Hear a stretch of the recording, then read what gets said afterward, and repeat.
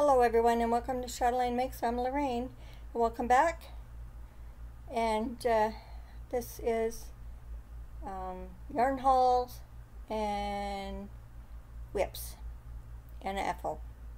Okay, so this past Saturday, Tori from Pauly's Crochet Creations came up for a visit and we got together and we went shopping. And then we went for dinner and then we went our way, and they went their way. Okay, so unfortunately I did not take any, get any footage. It was just caught up in the moments, but we did enjoy ourselves. And so we went to, now she was, she was later getting here than what I had expected. So um, we didn't get to go to all the places that we had planned on. So, um, because they were closed. Now, we were supposed to meet up across the street from my place. With the construction, they got turned around and detoured and ended up different place, close enough for me to walk. So it changed up what we were planning on doing because I was going to meet them at work. We were going to go in and see what we had in the Dollar Tree. And then we were going to go from there. We were going to go to Walmart uh, Michael's, we went to Giant Tiger, and there was a couple of, um, oh, and we went to Value Village, there was a couple of other uh, local yarn shops that we wanted to visit. So, we did get to Value Village, Giant Tiger, and Michael's. And that's it. Doesn't seem like a lot, but we were on the go. So, uh, we went to Value, Value Village first. Um, I didn't pick up anything. Tori picked up a bag of uh, hooks and needles. And I will link the video from the visit from what she got um, down below in the description box. So we went to Value Village. Then from there we went to uh, Michael's and Giant Tiger. They're together. So uh, Tori's husband dropped us off. Then he went to Timmy's because it's in the same mall just across the parking lot. And we went into we went to Giant Tiger first, and then from there we went to into Michael's. So Giant Tiger, we got um, we both got yarn, and did we get anything at Michael's? You know what? I don't think we did. I can't remember. Anyways, we hit the bins for the bags. Uh, okay, so I got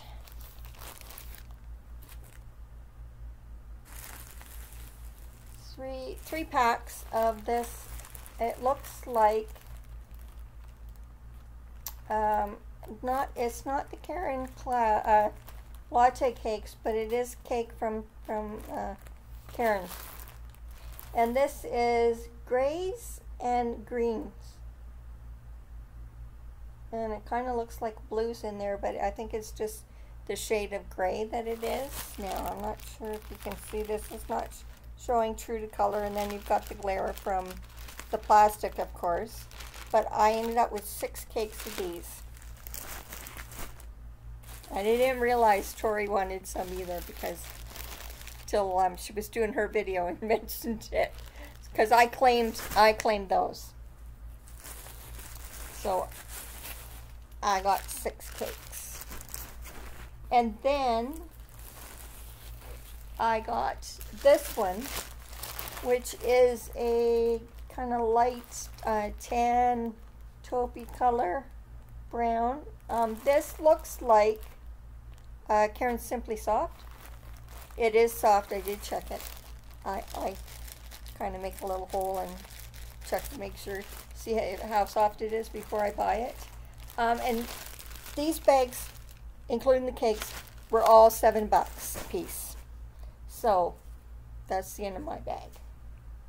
So that's what I got last Saturday.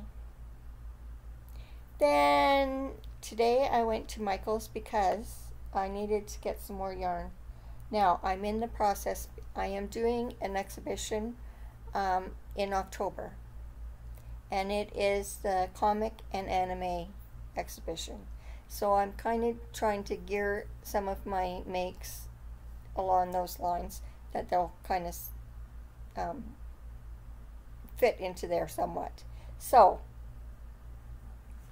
I bought this pattern off of Etsy. Now the robe is different because the robe that it had I did it and it was too big. So I did my own and I did the spots for the arms. So he's got his arms there. And I put the button on. And for his legs or for his feet, and I did his feet different because on the pattern it's got two strands and then the feet at the bottom. Well, I didn't like the way that looked. So I just attached mine to the body, okay?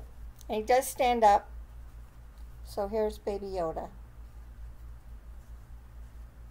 Now, I have a dragon on the go, and I don't have it here because it needs safety eyes before I can continue on. I'm also doing another dragon. Now, the first dragon is gold color. Um, it has wings. That one is one of the Pokemon characters. This one here looks like Falkor from Neverending Story. And that's what I got, went and got some yarn for today. Now, so I, I did the, the limbs and the ears. Then I did, started the head. Well, I went as far as I could because I need the eyes. So I have eyes coming. And then I started the tail and the body. So here's the tail. Now this does not have any trim or anything on it. I've marked for where the legs go. And the arms, you just kind of place them, guess where they go. There is no spot in particular um, on the pattern where it says. So you just kind of line them up where you think they'd be. Now on top of here goes the wings and, and then the trim on the spikes and whatnot on the tail. So and there is three colors for that. Now I am using Bernat Velvet, this kind of a creamy color. Now I haven't decided what color, and I also have some more um, in the Bernat Blanket, different colors for my other shade, for my other colors. Now I got this faux fur at Michael's. This is the Gold Frost. I was originally thinking of the pink and doing with red um, accents, but I changed from the pink to the gold because when I seen that, that they had the gold.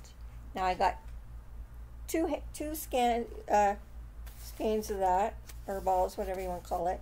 Now this is classified as a number six. Recommended hook size is uh, 8 millimeter and a 9 millimeter for, for knitting. Uh, machine wash and dry flat. Um, do not bleach and do not iron. So I doubt that this now this um is going to be it's not really for going to be needing um, much cleaning. So don't have to worry about the fact that it can't go in the washer and the dryer like my other amigurumis. So I got that. Now I did have a coupon for 30% off, plus I'm a senior so I get an extra 10% off, off of the rest. Now,